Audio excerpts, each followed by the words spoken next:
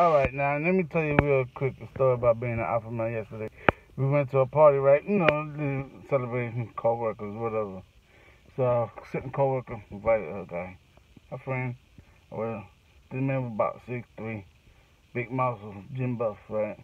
Probably a soldier or whatever. So I was just looking like, man, okay, pretty big. So, I, you know, a man always got compared to each other, right? So, everybody was like, but anyway, I wasn't done it. After we finished playing ball and everything, I said, I introduced myself. He introduced himself. He said, hey, how you doing? I said, oh, okay. I said, hey, how you doing? You know, like from New York. Hey, how you doing? See, you just don't know. Just because you got muscle doesn't mean nothing.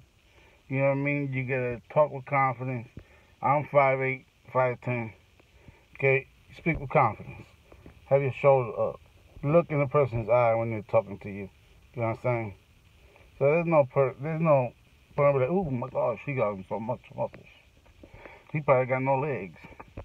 You know what I'm saying? So just be yourself, man. Just be either bit try to get that bit out of you, man. Try to be an alpha male, man. All right, now let me let you go. I'm gonna take a walk in the sun.